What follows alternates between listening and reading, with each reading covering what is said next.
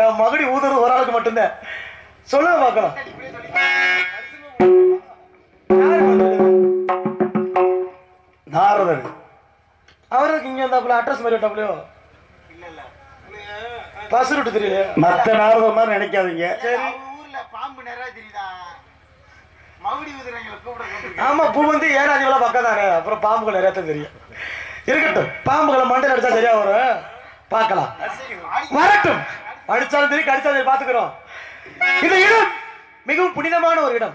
தவ ஞானிகளும் தவ முனிவர்களும் வந்து பூஜை செய்யக்கூடிய இடம். அப்பேற்பட்ட ஒரு இடத்தில் யாரோ ஒரு முனிவராகப்பட்டவர் அங்கும் இங்கும் உள்ளாவிக் கொண்டிருக்கிறார். அன்னவர் வருகை எதிர்பார்த்து நமது பணியை தொடங்குவோம் என்ற காரணத்தினால்.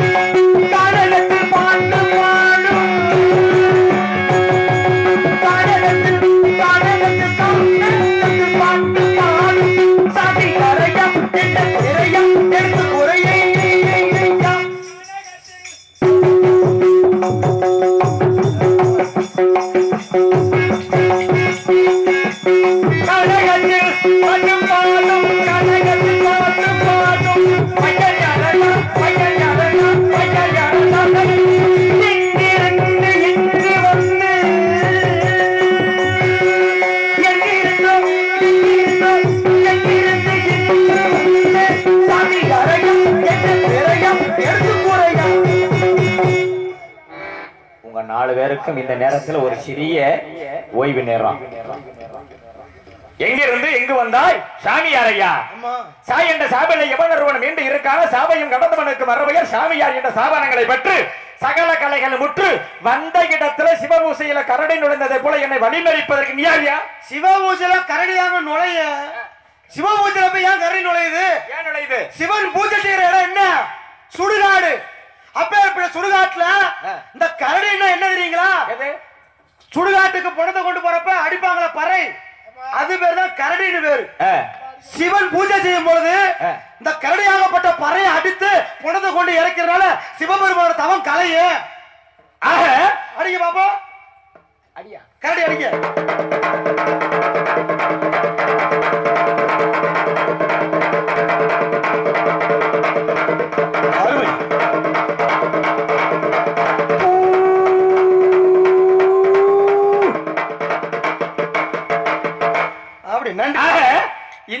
கலைக்கு பேர் என்ன சொன்ன? கரடி. இது பறைனுங்க பறைக்கு மறுபேர் கரடின்னு பேர் இருக்கு கரடி கற்றவன் எரடி செத்தானா? ஆமா என்ன என்ன? கரடி கற்றவன் என்ன ரொம்ப சட்டம் போட்டு என்ன அரட்டுறீங்க முதல்ல? என்னங்க? நீங்க போய் யாரு? முத ஒருத்தர் இடத்துக்குள்ள உத்தரவாம வருது. மகா குற்றம் தெரியுமா?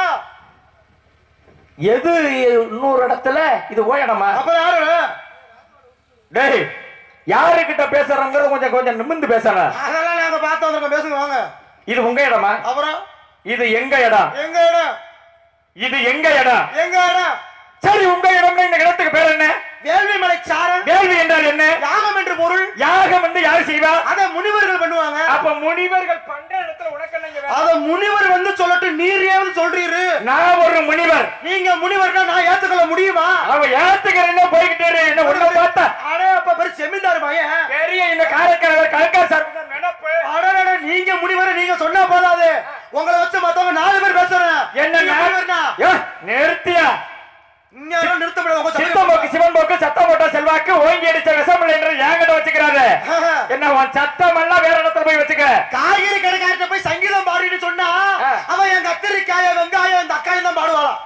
நியாயம் தான் அங்காடிக்காரிட்ட போய் அங்காடிக்காரிக்கும் சங்கீதத்துக்கு ஏதாவது சம்பந்தம் இருக்கா? இருக்குன்னா என்ன இருக்கா? என்ன இருக்குன்னா இருக்கு. இருக்குங்க. அது எந்த உலகத்துல? போத நீங்க வந்தது தப்புன்ட்ட. என்ன வருவதற்கு தப்புன்னு சொல்வதற்கு உனக்கு எந்த வகையில் நீங்க முனிவரா ஆமா. நான் எப்படி சொல்றீங்க நீ முனிவர்னு? நான் ரொம்ப சத்தியமா முனிவரா? நான் சொல்றேன் நான் முனிவர் தான். முனிவர். ஆமா. என்ன முனிவர். நான் வந்து தேவலோக முனிவர். கேவலம் முனிவர்னா எல்லா முனிவர் இருக்காங்க.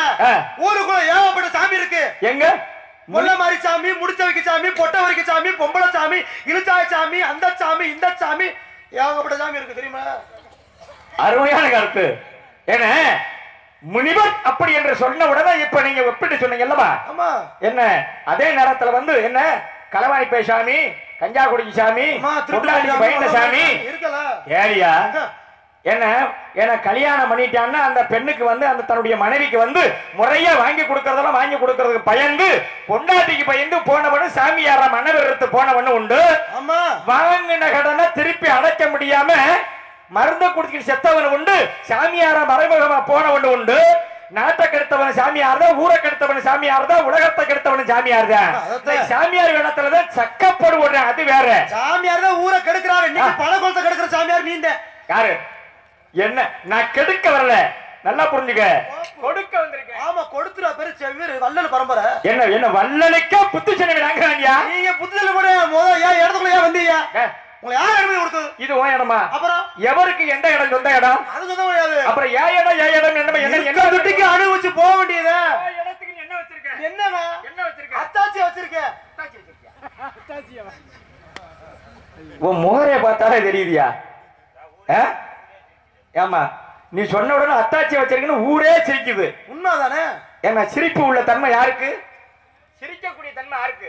சிரிக்கக்கூடிய தினம் மக்கள் மனிதர்கள் தான் இருக்கு இந்த. ஆமா மிருகங்களை சிரிக்காதுல்ல? ஆகையினால் என்ன? ஏன் மிருகங்கள் சிரிக்காதா? ஏன் சிரிக்கிறத பாத்திருக்கீங்களா பார்த்திருக்கியா இல்லையா? நீ காட்டுவாசி தானே? நான் காட்டு வாசித்தேன் அப்ப காட்டில் உள்ள மிருகங்களை பத்தி உனக்கு அப்ப தெரியாது. நீ நாட்டவாசி நீ காட்டுவாசி கிடையாது. யாரு நாட்டவாசி? ஆ. என்னங்க உங்களுக்கு என்ன மிருகம் பத்தி என்ன தெரியும்? உங்களுக்கு என்ன மிருகம் பத்தி என்ன தெரியும்? என்ன மிருகங்கள் சிரிப்பதுக்கு நீ பார்த்தது கிடையாது. நான் சிரிக்கிறேன் நானா மிருகமா? எனக்கு பாச புரியத்துக்கு இல்லையா? காட்டில் உள்ளவர்களுக்கு என்ன காட்டில் உள்ள உயிரினத்தை பத்தி தெரிஞ்சிருக்கணும்ல. இப்ப இது உங்க இடம்னு. ஆமா. இந்த இடத்துக்கு பேர் என்ன? வேள்வி மலைன்னு. அப்ப நீ வேள்வி மலையில் எங்க வசிக்கிற நீ?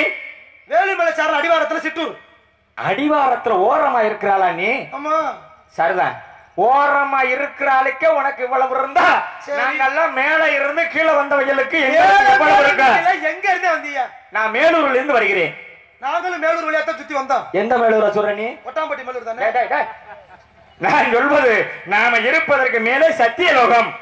என மேலே ஏழு லோகம் கீழே ஏழு லோகம் என்று சொல்லக்கூடிய இப்ப ஈரேழு பதினான்கு லோகத்துக்கும் செல்லக்கூடியவன். ஆனால் உங்க பாசையில சொல்ல போன சுவர்க்க மத்திய பாதாளம். இந்த மூணுக்கு மத்தியத்துல நான் அடியேன் என ககன மார்க்கமாக இந்த உலகத்தை சுற்றி பார்க்கலாம் வந்த இடத்துல உன்னை சுத்தி பார்க்க வந்திருக்கீங்க. உங்க திருநாமோதயம்? நாரத முனிவன். அப்படின்னு ஊருக்குள்ள சொல்ல சொன்னாங்களா? யாரு? உன்னை அப்படி கேட்க சொன்னமா? நீங்க நாரதர். நாங்க. நாய் என்றால் நாதம் ராய் என்றால் ராகம் தாய் என்றால் தாளம். நான் நாதமா ஓதமான்லாம் கேட்கல. நாரதர் தானே? யாருக்கு ஓதம்ன்றப்ப பேர் நாரதர் தானே? ஆமா. சரி விடுங்க. எதை விட? எதை விட? பேச்ச விடுங்க. நல்ல வேலை என் வாயில தான் நான் விட்டேன். சரி பேச்சு எதுல வரும்? பேச்சு வாயில தான் வர. அப்ப வாயில தான் விடணும். அப்ப வாயில தானே விட்டேன். போலும் போல விட்டு தவிச்சு தான் போறாரு நீ விட்டு பாருங்க இருங்க ஆ. வந்ததெல்லாம் சரித்த. சரி. நாரதர்னு சொல்றீங்கல்ல ஆமா. இப்படி காட்டுக்குள்ள வந்திருக்கீங்களே. உங்களை பொண்டாடி பிள்ளை வர மாட்டாங்களா? நான்லாம் மூவாசை வெறுத்தவனப்பா. முவ்வாசைனா மண்ணாசை பெண்ணாசை பொருளாசை வென்றவன் வெறுத்தவன் நான். மண்ணாசை? இல்ல. இல்ல. பெண்ணாசை? கிடையாது. பொருளாசை? இல்ல. மூணு ஆசையுமே இல்ல. ஆமா. அப்பனா உங்களுக்கு எந்திரிக்காது. எது? மனசுல ஆசை. டேய். கேள்வியை முழுசாக்குள்ளே பதறக்கூடாது. ஆசை எந்திரிக்காதா? ஆசை எந்திரிக்கும் ஆசை எந்திரிக்கல என்ன? என்ன நடமாட முடியுமா? அந்த மண்ணாசை பெண்ணாசை பொருளாசைன்ற ஆசை எந்திரிக்காதான்ற. என்ன நீ விவரமான ஆளு மதுரை சங்கத்துல தங்கராசு கோமாளினா ரொம்ப விவரமான ஆளு நான் கேள்விப்பட்டிருக்கேன். இந்த மனிதனுக்கு வந்து ஆசை வந்து எங்க உருவாகும்? எப்படி உருவாகும்? ஆசை ஒவ்வொருத்தருக்கும் பலவிதமான முறையில உருவாகும். இந்த வேலையெல்லாம் என்கிட்ட வச்சுக்கிற கூடாது தூண்டி விடுறத பொறுத்து இருக்குங்க தங்கராசு அதெல்லாம் வேற வேற நாரதர்கள் வருவேன் அவங்க கிட்ட வச்சுக்கிறேன்னு போன் சேட்டைய. சரி. என்ன? அப்ப? மனிதனுக்கு ஆசை உருவாகுது அப்படின்னா ஆசைக்கு அஸ்திவாரம் எது? என்சான் உடம்புக்கு? சிரசு பிரதானம். சிரசுக்கு? கண் பிரதானம். இந்த கண்ணு இல்லைன்னா எதையும் பார்க்க முடியுமா? முடியவே முடியாது. அப்ப பார்த்தா தானே கண்ணுக்கு இது நல்ல பருவம்டா இது நல்ல உருவம்டா. அப்படிங்கறது கண்ணு தானே பார்க்குது. காமாலக்காரனுக்கு கண்டதெல்லாம் மஞ்சளா தானே தெரியும் ஆமா கண்ணுக்கு தானே மஞ்ச காமாலை என்பது கண்ணுக்கு தானே சொன்னேன் பொம்பளையே பார்க்காத அளவுக்கு எல்லா பத்தி பார்த்தா பொம்பளை மரம் தெரியும். குத்துக்கலை பார்த்தாலும் பொம்பளை மரம் தெரியும். மரத்தை பார்த்தாலும் பொம்பளை மரம் தெரியும். அதானே நீ பார்த்ததுனால உன் பாசையில நீ ஒட்டி சொல்ற. அப்படி சொல்ல முடியாது? ஒத்துக்கிட்டேன்னா சரிதான். ஆளுங்க ஒத்துக்கிட்டா? உங்களுக்கு ஆசை இல்லைன்றீங்கல்ல? சரி விடுங்க. ஆ, இல்ல ஆசையே இல்லைன்றீங்க. இல்ல. சரி நல்லா இருங்க. நான் உங்களை கேக்குறேன் நல்லா இருங்கன்னு சொல்ற அளவுக்கு நீ எனக்கு சிரஞ்சீவியா? ஏங்க சிரஞ்சீவியோ பெருஞ்சீவியோ வாழ்த்துவதற்கு நல்ல மனம் இருந்தா போதுமுங்க. சின்ன பையல ஒரு சின்ன பையல வாடா தம்பிண்டாத்தா என்ன அண்ணேடி கேப்பியா உண்டு. டேன்னு கூப்பிட்டு அவன் போடான்னு போயிருக்கான் நியாயமான வார்த்தை. மரியாதை கொடுத்தாத்தான் மரியாதை வரும். உண்டு உண்டு. சரிங்களா? அதுதான் ஒரு விஷயம். நீங்க நல்லா பேசுறீங்க. நான் உங்களை ஒண்ணு கேக்குறேன். கேளு. இவ்வளவு சிரமமா பேசுறீங்கல்ல? ஆமா. நாரதர்னு கூப்பிட்டீங்க. ஆமா. நாரதர்னா அனைத்து புராணங்களிலும் சென்று விடக்கூடிய ஒரு கதாபாத்திரம். உண்டு உண்டு. தாங்கள் போகாத புராணங்கள் கிடையாது. உண்மைதான் இதிகாசங்கள் மொத்தம் எத்தனை இருக்கின்றது? ஏன்னா இதிகாசம் என்பது இரண்டு. ஒன்னு ரகசியம். சரி. திருக்குறளை எழுதியது யாருங்க? என்ன உலகமே தெரிந்த உண்மைதானே? திருக்குறளை எழுதியது எம்மாதிரி ஒரு முனிவர் இடத்தை சேர்ந்தவன் வள்ளுவன். வள்ளுவன். ஆமா. ஆத்திச்சூடி எழுதியது யாருங்க? ஆத்திசூடி எழுதுனோடு அந்த வள்ளுவர் கூட பிறந்த அவ்வைதான் ஔவையார் ஆ, நான் கேக்குறேன். கேளு. உங்களை விளக்கம் பேசுறீங்கல்ல. உங்களுக்கு ஆத்திச்சூடி தெரியுமா? என்ன என்கிட்ட என்ன என்கிட்டே நீ மண்ணெடுக்க பாக்குறியா நீ? நான் கேக்குறேன். அதான் இங்க கேளு. ஆத்திசூடி தெரியுமா அப்படின்னா அகர முதல் எழுத்தெல்லாம் ஆதி பகவன் முதற்ற உலகு. அப்படிங்கறத இந்த திருக்குறள்ல முதலில ஏன் இந்த வாசகத்தை வந்து வள்ளுவன் போட்டார் தெரியுமா? ஏன் போட்டாரு? நீ ஆத்திசூடிய போயிட்டியே. ஆ. இந்த ஆத்திசூடிய பாடுனது அவ்வை. அவ்வை. அந்த அவ்வையோட பிறந்தவதான் வள்ளுவன். ஆமா. இந்த வள்ளுவனுடைய தாய் தகப்பன் யார் தெரியுமா? யாரு? பகவ முனிவருக்கு ஆதிக்கும் பகவானுக்கும் பிறந்த காரணத்தினாலதான் முதலிலே அவர் பாடக்கூடிய அந்த ஈரடி என்று சொல்லக்கூடிய சீரிலே அகர முதல் எழுத்தெல்லாம் ஆதி பகவான் முதற்றே உலகு. அப்படி என்று இந்த அடி எடுத்து கொடுக்கப்பட்டார். ஆகையினாலதான் இந்த முதலிலே தாய் தகப்பன் தாண்டா முதல் தெய்வம் என்று அடி எடுத்து கொடுக்கக்கூடிய உலகத்தினாலதான் ஆத்தி சுடியெல்லாம் பிறகு வந்தது. இந்த உலகத்துக்கே தாய் தகவன் முக்தி கொடுத்தது யாரான விநாயகனுக்கு அடுத்து வள்ளுவர் தான் இந்த மண்கண்டத்திலே கொடுக்கப்பட்டார். திருக்குறள் தெரியுமா? வள்ளுவர் கொடுத்துட்டாரு. நீங்க திருக்குறளை பத்தி பேசுறீங்கல்ல. திருவள்ளுவர் பிறந்தவரு அவை அவை அவை பிராட்டி. அவங்க எழுதி ஆதிச்சூடி நான் ஒரு விஷயம் கேட்கிறேன் கேளு. நல்லா படிச்சவர் தானே? நல்லா படிச்சவர் தானே? என்ன வேணும் என்ன பாரு. பாப்போம் என்ன பெரிய பொருட்கள் தவிட்டு வரல மத்தால மாதிரி என்ன ஏமாத்த கூடாது சும்மா வாரது நாலு பாட்டை படிக்கிறது. நாராயண! உன்னை போட்டு ஓராயண! டேய், நான் அப்படி விட்டு போக மாட்டேன். ஆமா மோதி பாப்போம் ஆ. மத்த பப்புனு மாதிரி நீங்க பேச தெரியாதீங்க தங்கராசு. பேச்சுக்கு பேச்சு. தெரிஞ்சா பேசுங்க.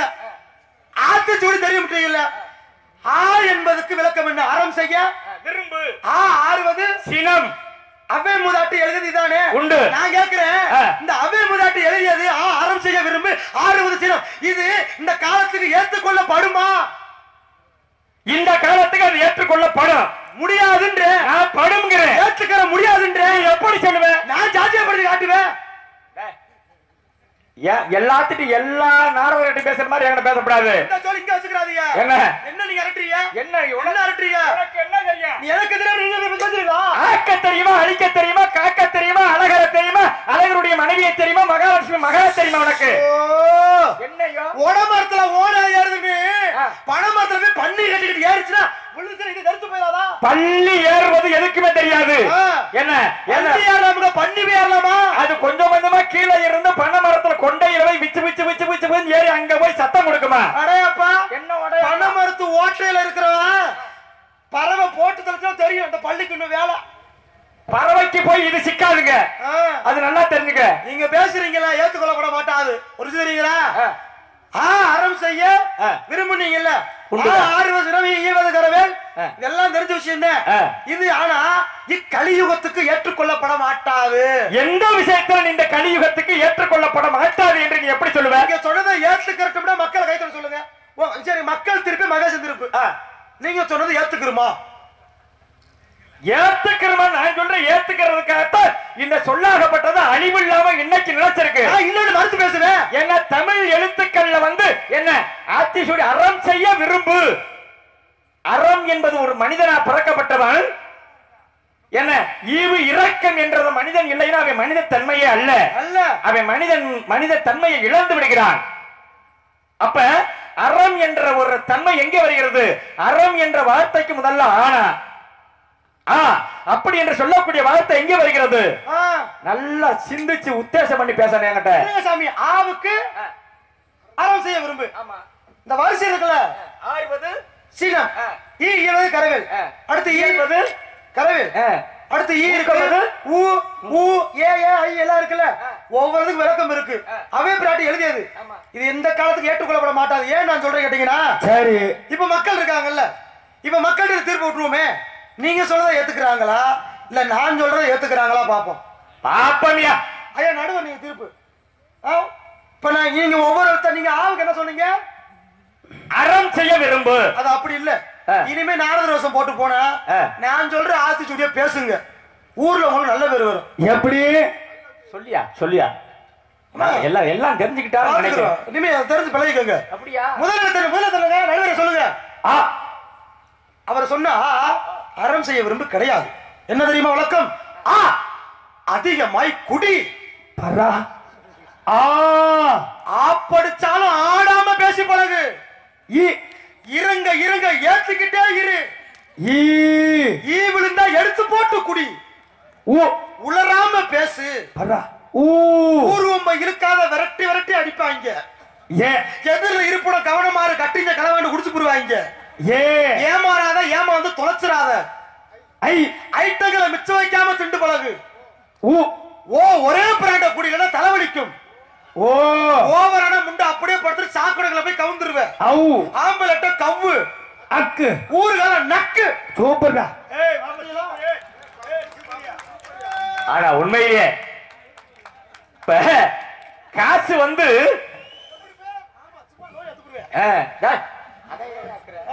என் சித்தப்பு ஏன் நாட்டின் குடிமகன்? ஒரு விஷயம் தெரியுமா தங்கராஜ்? கோயில்ல இருக்காங்க சாமியார் பயிருங்க ஆமா. சங்கம் வச்சுக்கிட்டு இருக்காங்க திருவோணம் வச்சுக்கிட்டு இருக்காங்க. மனவிருத்த சாமியார்கள் கோவில்கள் பெரிய பெரிய கோவில்கள்ல உட்கார்ந்து பிச்சை எடுப்பாங்க. ஆனா அங்கெல்லாம் அங்க காசு விழுகாது. இந்த காசு சேரும் இடம் எது தெரியுமா?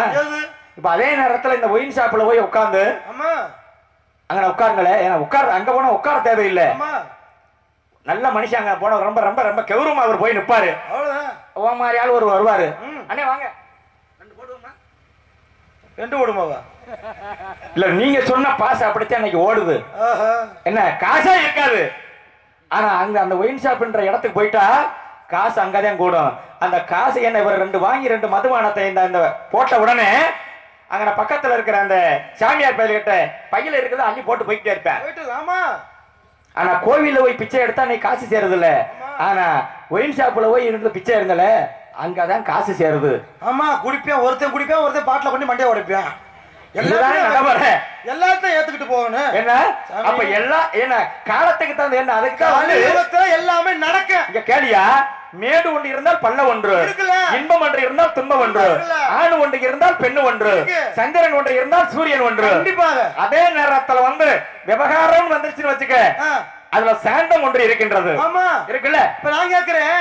இந்த உலகத்துல ஒருத்தருக்கு குழந்தை பிறக்குது. உலகத்துல ஒருத்தருக்கு குழந்தை பிறக்குது. சரி. அது போய் என்ன கணக்குல சேரும்? என்ன? கணக்கு. என்ன? பிள்ளை கணக்கு? பிறப்பு கணக்கு. பிறப்பு கணக்கு. என்ன பிறந்திருக்குன்னு கேட்பான் உண்டு. அப்ப பிறப்பு கணக்கு. ஆமா. போடுறது என்ன கணக்குல சேரும்? அது வந்து போடும் கணக்கு. ஆடு. கேளியா? போடும் கணக்குன்னு அது எதை சார் தெரியுமா? என்ன அதுதான் சொல்லியிருக்கேன். புண்ணியம் நெடுவரையா புண்ணியவான் போட்டவோடு இந்த புகழங்கு பூமி எங்கு புகழ் பெறா அப்படி என்று என்ன வாழ்த்தணும் போடும் கணக்கு. ஆமா. ஆடு குட்டி போடும் மாடு கண்டு போடும். ஆமா. போடும் கணக்கு. பொறிப்பது என்ன கணக்கு? அது படிப்பு கணக்கு. என்ன கணக்கு? படிப்பு கணக்கு. படிப்பு கணக்கு. ஆமா. இயற்கையில பறவைகளை பொறிப்பது என்ன கணக்கு? என்ன? அதுக்கெல்லாம் முட்டை இட்டு குஞ்சு பொறிக்கக்கூடிய கணக்கு. பறவை கணக்கு. ஆமா. அப்ப முட்டை பொறிஞ்சா என்ன வரும்? என்ன? முட்டை பொறிஞ்சா குஞ்சு வரும். சிப்ப திறந்தா? செருப்பு தாண்டா வரும். நல்ல பிராண்டா தான் ரெண்டு வீட்டுக்கு அனுப்பி வைங்க. நல்ல பிராண்டா தான் வீட்டுக்கு அனுப்புங்க கெட்டிக்காரனா? என்ன? கழுவுற தண்ணியில நழுவுற மீன் மாதிரி உள்ள நுழையவாரு அழுவித்தாங்க போகணும். நலுவாம இந்த வாழ்க்கையில ஜெயிக்க முடியுமா? முன்னேறத்தான் முடியுமா? என்ன? கை நெகத்திலேயே சிலாம்ப உரைச்சிருவாங்க உர ஏங்க சில விஷயங்களை உரச சில விஷயங்களை கைய கிழிக்க.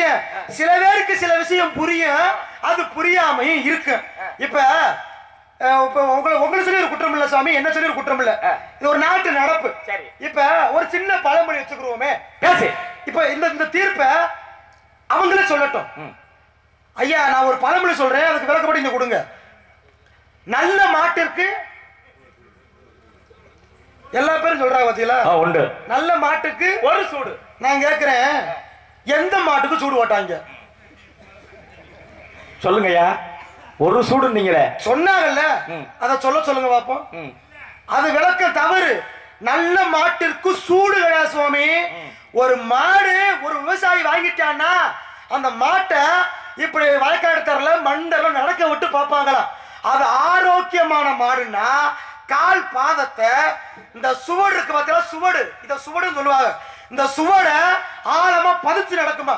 அப்ப நல்ல மாடு கால் பாதத்தை ஆழமா பதிச்சு நடக்கும்.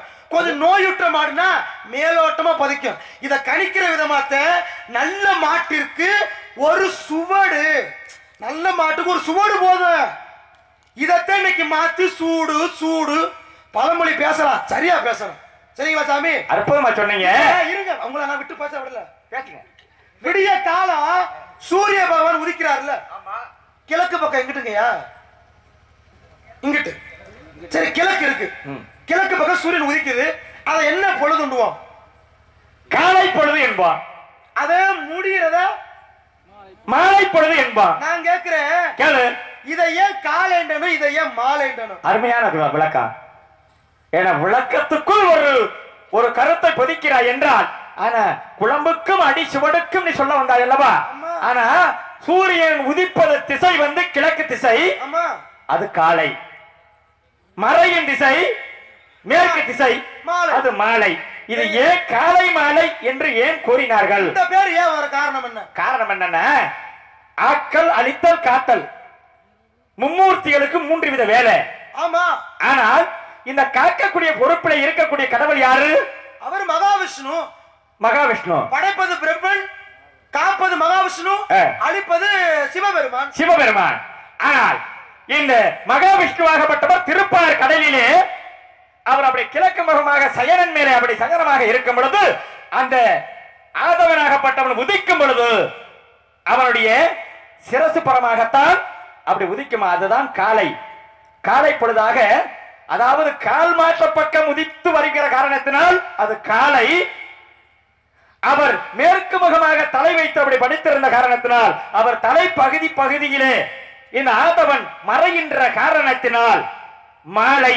என்ன? அவர் கழுத்தில் அணிந்திருப்பது மாலை. இந்த கழுத்திற்கு மறுபெயர் கண்டம் கண்டத்துக்கு மறுபெயர் மாலை என்ற காரணத்தினால் மாலை. அப்படி என்ற காரணத்தினாலதான் இத காலை பொழுது மாலை பொழுது அப்படி என்று மகாவிஷ்ணு வச்சுதான் இதை குறித்தார்கள். நன்றி. ஏன்னா ஒரு உன்னதமான ஒரு விளக்கம். விளக்கம் சொன்னா சபையில ஏத்துக்கிற எதிரியா இருந்தாலும். அப்ப எதிரியா? எதிரி இல்ல. சரி இப்ப கேக்குறேன். இவ்வளவு விவரம் பேசுறீங்களே. என்ன? விவரம். என்னப்பு? இருங்க இருங்க. பெருசா வராது. என்ன? வராது